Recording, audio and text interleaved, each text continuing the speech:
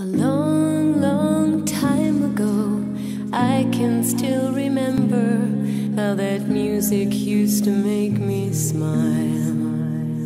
And I knew that if I had my chance, I could make those people dance, and maybe they'd be happy.